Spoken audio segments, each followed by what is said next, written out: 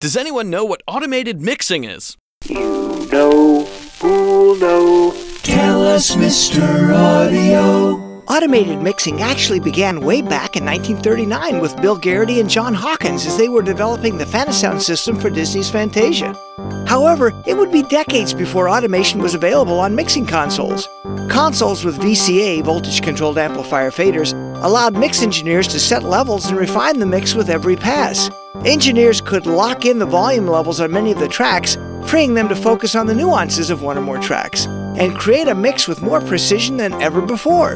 Unfortunately, on most of the early automated consoles, the automation was limited to only volume and mute. The mix engineer therefore needed to make detailed notes indicating how everything else, both onboard and outboard, was configured, in case the session needed to be redone in the future.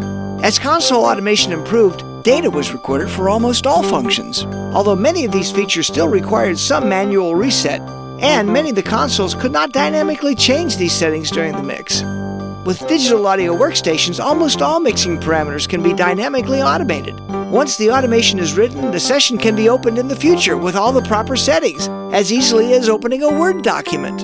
Thanks, Mr. Audio.